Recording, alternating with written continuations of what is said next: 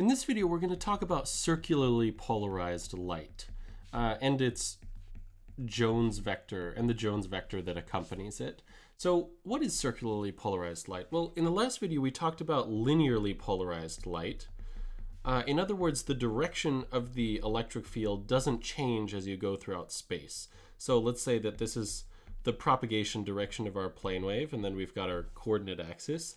Uh, a linearly polarized light, if it's polarized initially in x, so it's got some x component, that x component will change throughout space. So it'll get bigger and smaller and bigger and smaller because this is a sinusoidal uh, wave. This is a plane wave. So we expect the magnitude to go up and down as we go throughout space.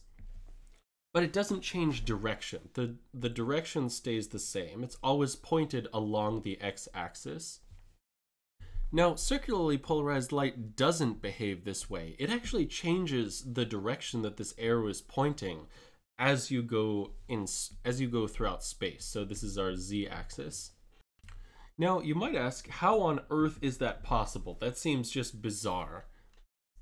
And the answer has to do with the wave nature of light uh, and the fact that we can, so let's say that we wanted to add uh, two polarized waves together. So let's say we have this polarized wave, which is polarized in the x direction.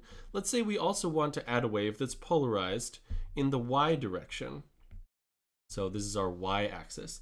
But let's say that instead of having the maximum of the y polarization match up with the maximum of the x polarization, so that would look something like this, uh, instead of doing that, why don't we offset it? So let's say that the maximum of our y polarization happens when our x polarization is equal to zero. So this is the maximum of our y polarization. And similarly, uh, it decays to zero, or the sine wave goes to zero when uh, when the x polarization is at a maximum. So if we were to trace that out in the y-axis, it would look something like this. So we've got arrows pointing along the y-axis, and then our arrows start pointing backwards.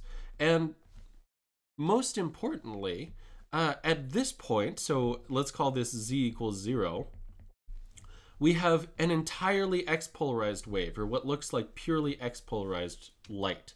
So if we were to add up these two polarizations, this is x and this is y, then initially our wave is just polarized in X. And I'm going to draw this total in a different color. Let's do blue.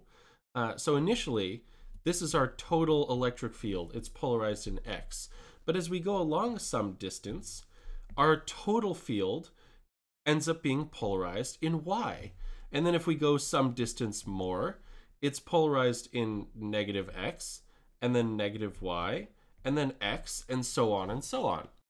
And if we were to trace out what this looks like, this would actually be, if they have the same magnitude, a circle. So I've done my best to draw the, uh,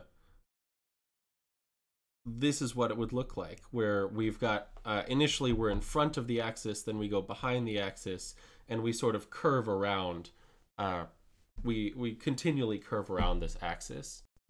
And this is what's known as right hand circularly polarized light. So if you stuck your thumb out in this direction and you were to curve your fingers uh, of, of your right hand, you'd get that it the they travel in the same direction as this wave curves around the axis. And so here's a visualization more of what this looks like, uh, this curving light or this curving polarization. Notice it doesn't change its magnitude. So it sort of it stays constant in magnitude. It doesn't go from zero to one. It just changes its direction. So you can kind of see how it curves to the right, uh, or sort of a right-handed helix. Uh, and if we advance the time, we can watch this wave propagate as you increase the time. So we can see it's propagating down the z-axis, and the electric field is sort of curving out this circle as we propagate it. And if we freeze the helix in time, we can see that it's a right-handed helix. So it follows the curve of our uh, right-handed fingers as we point our thumb in the direction of propagation. So let's get rid of that. Um, so that's fine and good. But how do we mathematically model this? Uh, and the answer is going to be with our Jones vectors.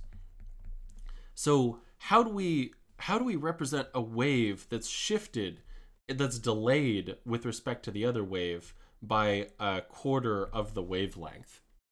So this distance would be lambda over 4. Uh, this distance here, whoop. What the fuck?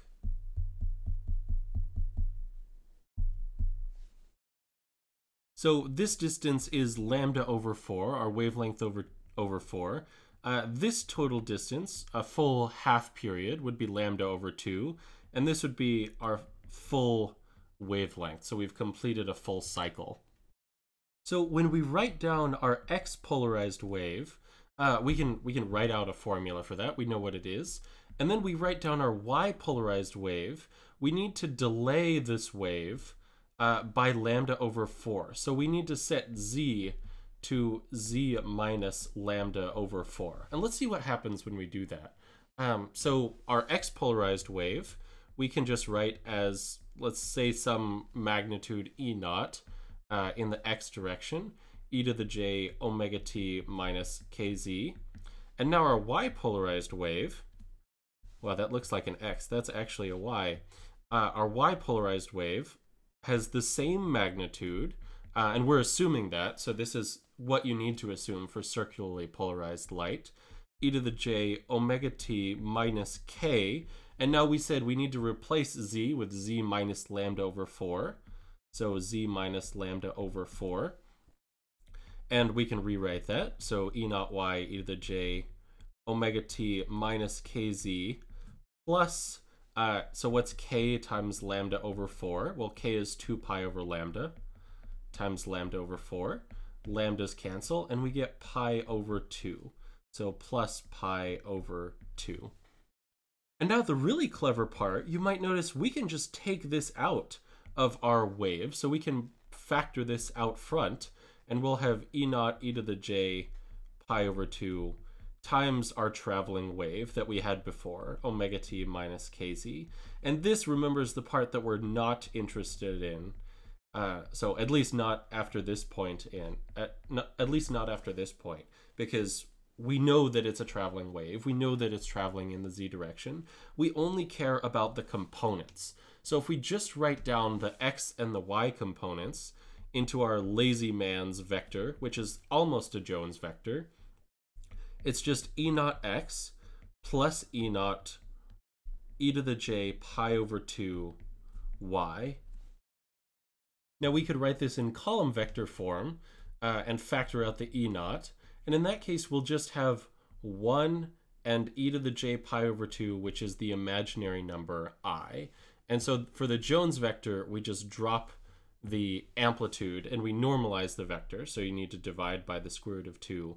And this is our Jones vector for right-hand polarized light. And this contains all the information that we had before, but it's super, super simple. So rather than writing down uh, this plus this, we just write down this super simple uh, column vector, and this will actually allow us to do some really cool things.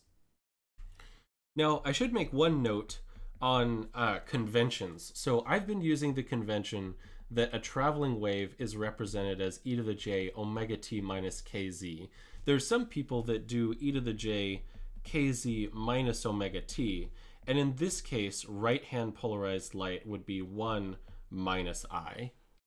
There are also different conventions on whether this is right-hand polarized uh, or left-hand polarized, and the the convention that I follow and the, what seems to be the most common one is the handedness convention. So stick your right hand out, curve your fingers. If your fingers follow the path of the light, uh, then your the light is right hand polarized. If it follows the path of your left hand, it's left hand polarized. So if instead we had shifted the wave, instead of shifting the y wave, uh, the y polarized wave in this direction, we could have also shifted it in this direction. And that would have given us left-hand polarized light, which uh, the Jones vector we could just represent as 1 minus i. And so these are two circularly polarized forms of light, and they correspond to helixes or helices that are either right or left-handed and are propagating along the z direction. But you might wonder, what if we hadn't shifted by a perfect lambda over 4? What if we had shifted by a little bit less or a little bit more? Uh, and that's a perfectly reasonable question, and we'll answer that in the next video uh, on elliptically polarized light. And uh, you'll get the same exact thing if you instead had different amplitudes in front of this x and y, but we'll go over that in the future video. So I hope you enjoyed this one. Uh, if you did, please give it a like down below and subscribe to my channel. Uh, also, if you have any questions or comments, please feel free to post those down below and I'll try to get back to you as soon as I can. And thanks for watching. I'll see you next time.